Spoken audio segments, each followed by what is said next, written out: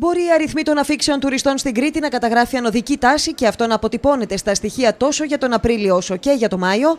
Την ίδια ώρα όμως η πληρότητα στα ξενοδοχεία δεν φαίνεται να ακολουθεί αυτό τον αυξητικό ρυθμό, αφού σε μια μέση τιμή οι πληρότητες δεν φαίνεται αυτή την ώρα να ξεπερνούν το 80%, ενώ οι κρατήσεις που φαίνεται πως έχουν φρενάρει δίνουν για τον Ιούλιο και τον Αύγουστο πληρότητες που φτάνουν στο 50%. Ε, να ξέρετε ότι ο Ιούλιος και ο Αύγουστος αυτή τη στιγμή έχουν, τα ξενοδοχεία είναι περίπου 50% αυτή τη στιγμή. Να μένουν τι κρατήσει, τη ροή των κρατήσεων. Αλλά η ροή των κρατήσεων έχει πέσει.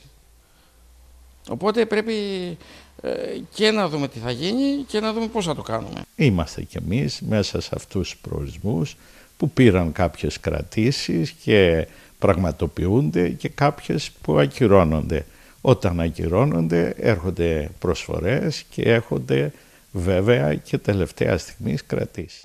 Τουριστικοί παράγοντες της Κρήτης, αναγνωρίζοντας ότι φέτος μεγάλο μέρος της κίνησης θα προχωρήσει στις αποκαλούμενες κρατήσεις της τελευταίας στιγμής, εκφράζουν συγκρατημένη αισιοδοξία, με δεδομένο, όπως λένε, ότι ένα σημαντικό μέρος των επισκεπτών θα φτάσει στο νησί, αλλά δεν θα διαμείνει σε ξενοδοχειακές μονάδες, αφού το δίκτυο καταλήμματων Airbnb απορροφά μέρος του τουριστικού κύματος. Να μην δαιμονοποιούμε το Airbnb ε, και τα σπίτια αυτά βραχυχρόνιας μίσθωσης, ε, χρειάζονται και αυτά, υπάρχουν ε, σε όλο τον κόσμο. Έχουμε πει πολλές φορές ότι πρέπει να υπάρχει α, οπωσδήποτε φορολογία και ίση όρη σε σχέση με τα καταλήμματα. Από εκεί και πέρα μπαίνουν στην κριτική οικονομία. Οι κλίνες στην Κρήτη Airbnb είναι πάνω από 40.000. Είναι τεράστιο το νούμερο σε όλη την Κρήτη εννοώ. Αυτή τη στιγμή όταν αυτή η πίτα είναι περίπου ένα 70% κλεισμένη, αυτά τα κρεβάτια χάνονται από τα ξενοδοχεία.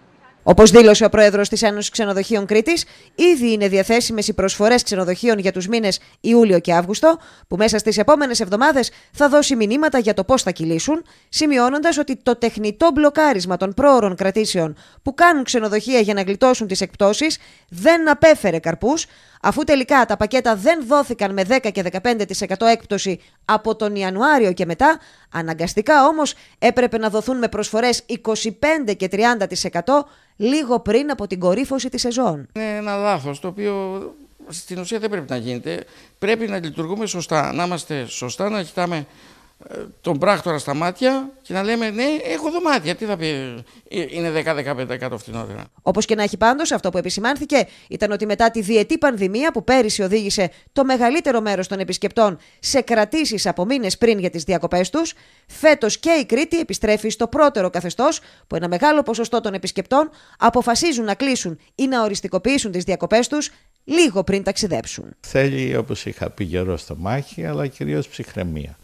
Από εκεί και πέρα ε, νομίζω ότι μετά τις 15 Ιουνίου θα έχουμε πάλι μία γεμάτη σεζόν και θα δούμε ό,τι μπορούμε να κάνουμε για τα φτερά, δηλαδή τον Οκτώβριο ε, και λίγο από τον Νοέμβριο.